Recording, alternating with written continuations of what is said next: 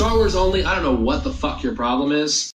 Hey guys, Star Wars Only here. Today I want to talk about what uh, Ewan McGregor recently said in a Vanity Fair article. Vanity Fair had its 25 most influential movie scenes of the past 25 years, and actually one of the scenes was the Revenge of the Sith movie. It was the scene with uh, Obi-Wan and Anakin battling it out on Mustafar. It's a pretty classic scene. A lot of fans do like that from that movie. But Ewan McGregor in this uh, article, he actually gives his take on the perception that has changed from when the prequels were released into how people look at them now, because the perception has changed over time. And here's what he has to say. Episode 3 was all green screen. They had us on green disc on a green floor with a green background, and a guy on the floor rotating us like chickens as we lunged at each other with lightsabers. What keeps you emotionally grounded is the other actor. Episode 2, I was on my own, speaking the thin air. But this scene was harrowing for Obi-Wan. I lose Anakin, and we see the danger of what it might lead to in episodes 4, 5, and 6. For all my moaning about green screen, I did enjoy playing Obi-Wan in this link to Alec Guinness. George Lucas wanted to do something very different with the prequels. That's why people felt cheated. It was upsetting when people would laugh and joke about it. Now, many years later, the prequels meant a lot to the generation that were kids then.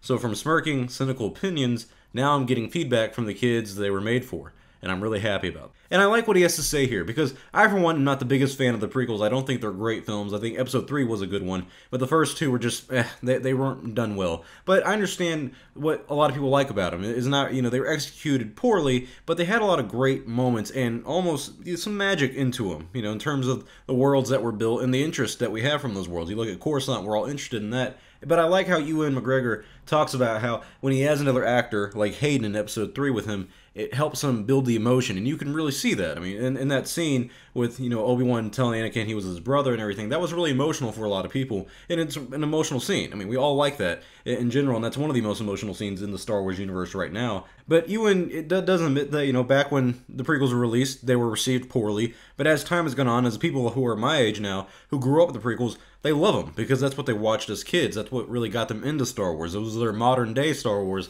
and it it was magical for a lot of those kids. It was their childhood. It's the nostalgia factor of liking these films. And uh, from the prequels, we got the Clone Wars, and every fan, well, not every fan, but most fans love the Clone Wars, and they're, they're really popular nowadays. So it's nice to see someone like Ewan McGregor who came from the prequel era. He's not really crapping on the fans who didn't like the prequels, like me, let's say, because I, I, don't really like them that much. He's not coming out here saying, you know, I'm racist, sexist, or misogynist for not liking it. I'm a man baby, like some of the modern day Star Wars people are doing now. He he's saying the truth of, you know, hey, I went from these cynical opinions, and you know that was upsetting, but now it's happy to hear that kids who grew up with the prequels love them, and they they are the people who we made those films for. Because that's what George Lucas did say is that you know they're meant for twelve year olds, and I completely disagree with him on that because there's completely other factors that went into it, and but that, that's a whole nother conversation.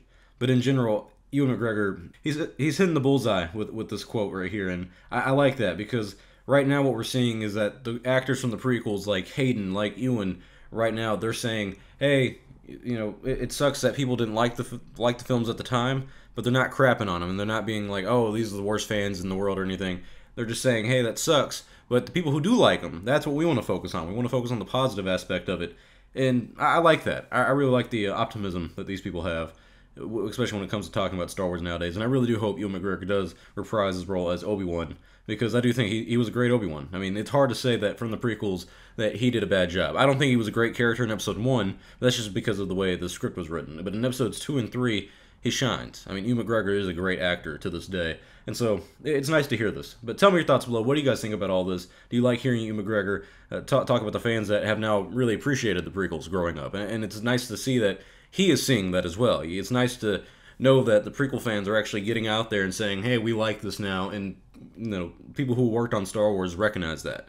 And, you know, we don't we haven't had that in a long time. Probably since 2010 um, that we haven't had that. And so nine years later, we're, we're finally getting we're finally getting the positive stuff about the prequels kind of out there now. And is that due to the Disney sequels? We we don't know. But tell me your thoughts below in the comments. Uh, I'm Star Wars only. Hope you guys enjoyed this little talk we had. I'll see y'all next time, and may the Force be with you always.